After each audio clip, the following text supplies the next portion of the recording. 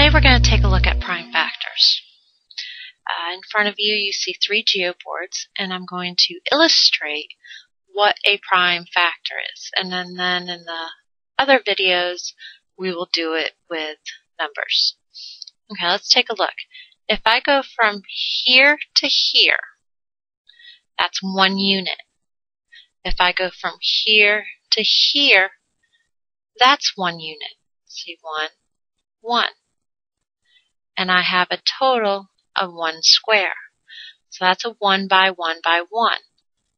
These here are my factors because one times one is the product of one and the number of squares. So I have number of sides and I have the number of squares. So I have a 1 by 1, which equals 1 square. Now, I'm going to go ahead, let me use green.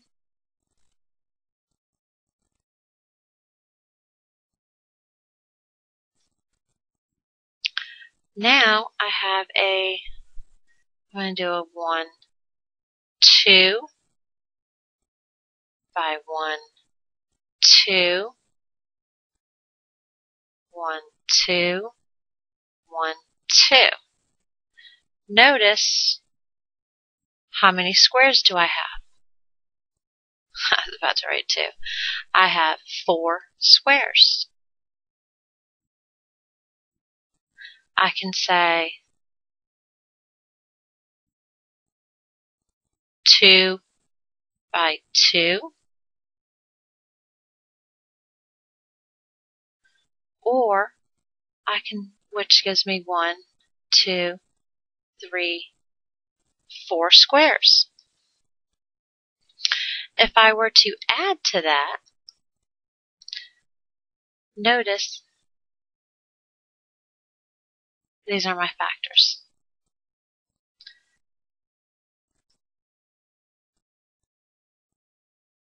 How many squares do I have? I have five, six squares. Okay, or a total of six squares, which my factors would be 1, 2, by 1, 2, 3. Okay, and that gives me a product of 6 or 6 squares. If I were going to draw some more, let me go ahead and draw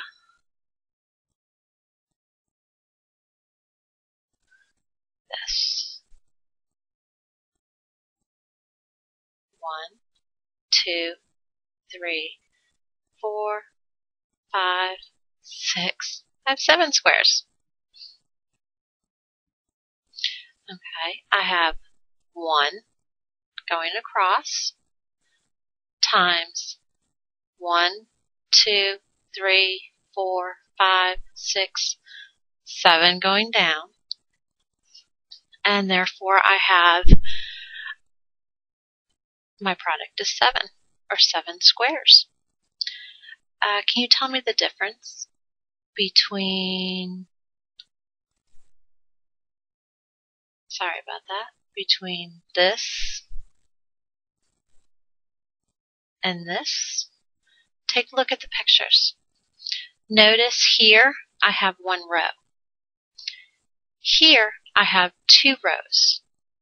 Anytime you have only one row, it's a prime number. I can't arrange seven squares any other way unless I did it across. One, two, three, four, five, six, seven. But once again, my factors are still 1 by 7.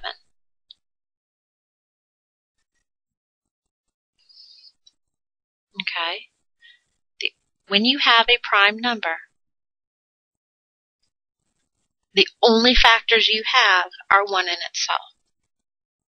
And we can see by the picture.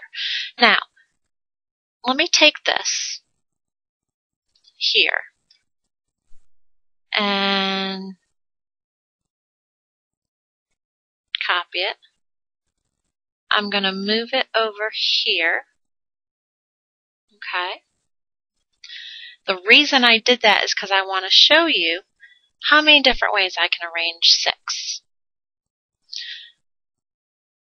As you can see, I can have one, two, four, two by one, two, three. So I can have 2 times 3 equals 6. And the only other way I can say I can have one, two, three, four, five, six. Yeah. Not good at drawing straight lines. Okay. I can have a 1 by 6 or 1 times 6 equals 6. Okay. I'm going to give you another example. Let's come over here and do one, two, three, four, five, six, seven, eight, nine. As you can see here, I have a 1 by 9 picture.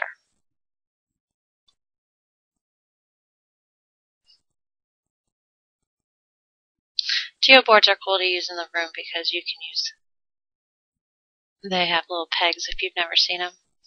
And use elastic bands, which kind of scares me in the classroom for safety reasons, but they are fun to use. Okay. Is there any other way to draw nine squares?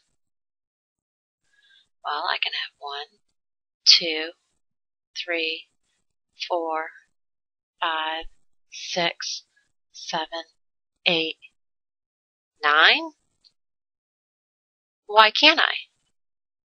Because you have to have the same amount of squares. Okay? You can't have, when multiplying, it's almost like having, you can't do this because it's almost like having a square out. He's out of here. So that doesn't work.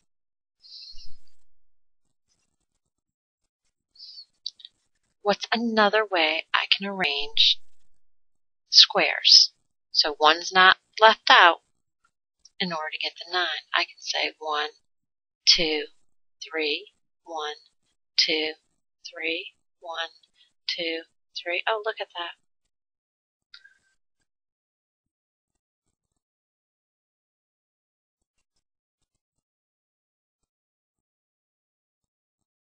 I also have a 3 by 3, which will give me 9. Okay? So there's definitely more than one way to represent or to draw 9. 9 is not a prime number. Where 7 over here there's only one way to draw it. It's a 1 by 7 or a 1 by 7. it doesn't matter which way you turn it. The only way to draw 7 squares without having a square left out is to draw a 1 by 7. Okay, and that's what a factor looks like. That's what a prime number looks like. Now let's put them together in the next video and discuss what a prime factor is.